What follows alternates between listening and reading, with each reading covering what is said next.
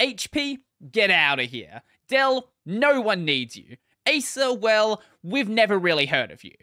Even in China, the first two of these brands are massive PC sellers. In fact, they are the two biggest in the entire country.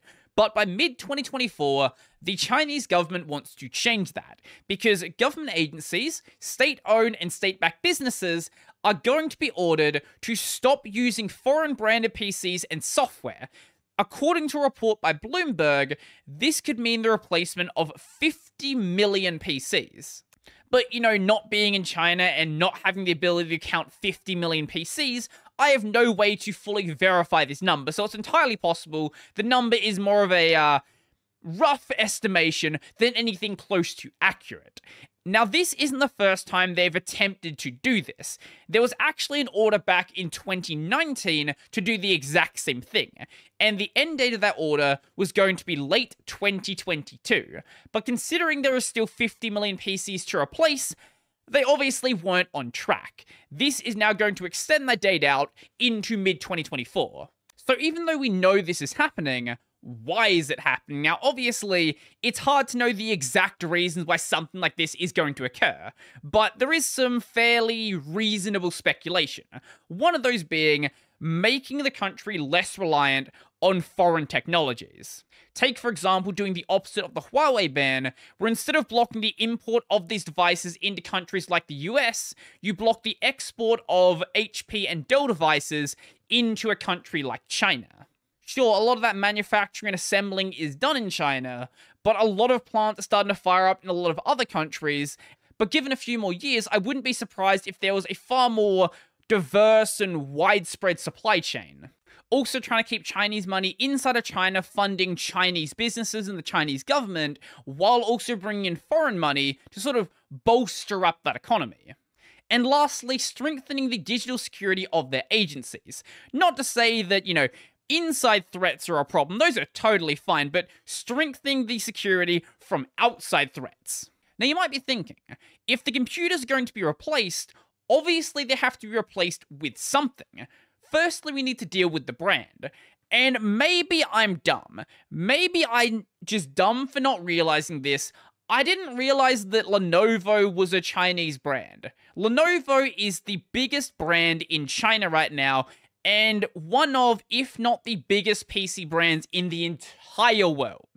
There are smaller brands like Founder and Inspur, which do have some level of foothold, but I wouldn't be surprised if most of those government contracts just go to Lenovo and they become even bigger than they are right now and become the undisputed biggest PC brand in the entire world. And with manufacturers like Foxconn, who are probably more than happy to help out with local production, getting all of those PCs made doesn't exactly seem that difficult. Sure, we're in the middle of a chip shortage, but it's entirely possible that Foxconn would turn away other projects just to help out with this local Chinese government project. Secondly, you have to deal with the operating system because if you want to get rid of Western software, you certainly cannot be running Windows. And building an operating system is very, very difficult. And rather than building something entirely from scratch, they plan to use a Linux based operating system. It's entirely unclear what would be the primarily endorsed distro, but there are some fairly long standing Chinese distros that exist. Things like Ubuntu Kylin, Deepin, or even Red Flag Linux. And from my limited understanding, Red Flag in many ways is similar to Red Star. That's not just like a similar name for the sake of it. So I am very excited to see the Red Star of China. Is it going to be full of spyware? Almost certainly. But even so, I think it'd be fun. And considering the prior Western replacements like, say, Harmony OS on Huawei devices, if it's not one of the existing distros and it is something entirely new, it's probably just going to be something that already exists, like, say, regular Ubuntu with some minor, minor tweaks. And maybe that encourages Lenovo to start shipping more devices with Linux pre-installed. Obviously not with the Chinese variant, no one in the West is going to buy that, but maybe with Ubuntu or maybe with, you know, Debian or something like that, I think that would be really, really cool. I'm sure specific departments are being forced to use specific distros, that makes total sense.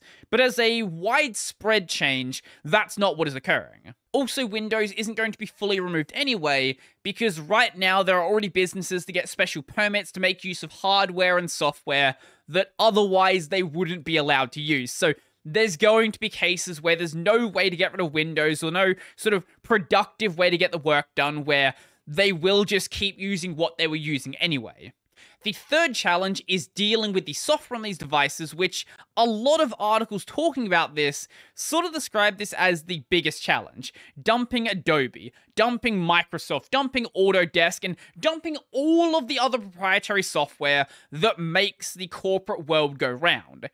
And I kind of find this problem laughable because there's no need to build new software completely from scratch. Like how Linux already exists, you can make use of existing open source software, tools like GIMP, tools like Inkscape, Caden Kdenlive, LibreOffice, FreeCAD. Blender is a different exception which already has corporate acceptance, but all of these other projects already exist.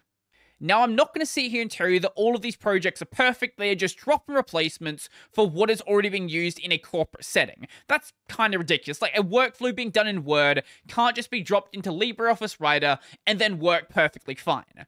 But do you honestly think that if literal billions of dollars are being dropped into new hardware, that not a single cent is going to be spent improving the software side?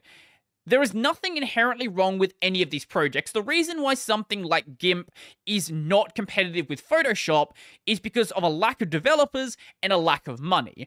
If you give it both those things, it can do literally anything. Whether it's forking the projects, making a proprietary version, or working on the existing repos, either way, a lot of money is going to be dumped into improving this software. I would certainly like it if a lot of these changes do trickle upstream and make the software that I use considerably better, but, you know, being a realist, I'm not holding out that much hope in that happening. Because while China doesn't have any qualms about using free and open source software, following licenses is a whole nother challenge. But one thing not included in this order, probably because it's not really that realistic to develop, is locally developed hardware. So even though they're going to be using local PC brands and locally developed software or open source software, it's still going to rely on tech from companies like AMD, Intel, Nvidia, and companies like that. Even if much of the production is done locally, it's still developed outside of the country. There are certainly some local hardware developers like Zhaoxin, for example, but no one as prolific and no one making hardware as performant as what you get from the companies that you typically think of when thinking of PC hardware.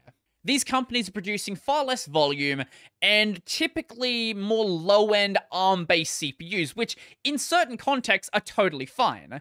But when we're talking about a desktop computer, don't exactly fit the use case.